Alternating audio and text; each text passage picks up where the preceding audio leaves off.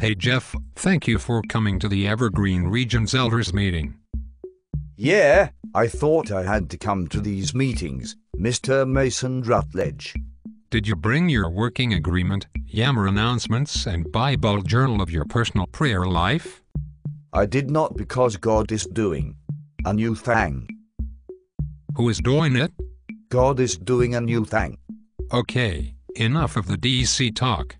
I want to get down to brass tacks. Straight to the point, to the point, no faking.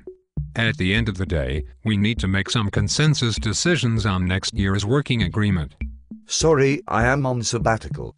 I will be working differently next year.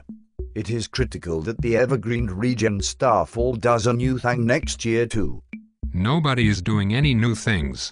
Not even God is doing a new thing unless it is on the regional calendar, which I print two years ahead of time. Jeff, I am hereby stripping you of your eldership and the on time award. Ooh. On time award? Well, I don't like U2 concerts anyways. Well, I am going to call Daryl at the service center and he will bust you for stripping me.